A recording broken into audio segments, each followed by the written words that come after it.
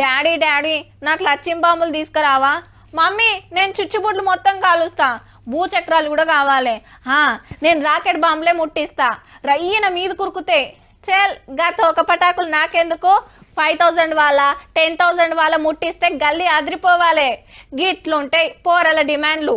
ఈ ఏడాదికో పారి గా ఇంత మురిపేం ఉంటుంది కదా మళ్ళా?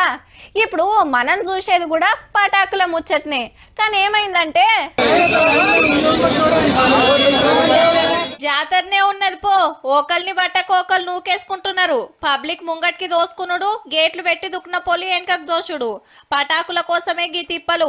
హైదరాబాద్ బేగం బజార్లో ఓ దుక్నంలో పటాకులు కొనటానికి గీ తీర్లెగబడ్డరు పట్నంలో బొచ్చెడు దుక్నాలు పెట్టిరి.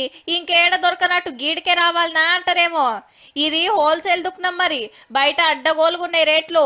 ఈడైతే జరంతా అక్వ గల్లీలలో చిల్లర వ్యాపారాలు చేస్తోళ్ళు ఈడ కొనుకపోయి అమ్ముతుంటారు. పోరలకు పటాకులు కొందాం అనుకున్నోళ్ళు సుతా ఈడికే ఊరుకొచ్చిండట రేట్ తక్కువ అని.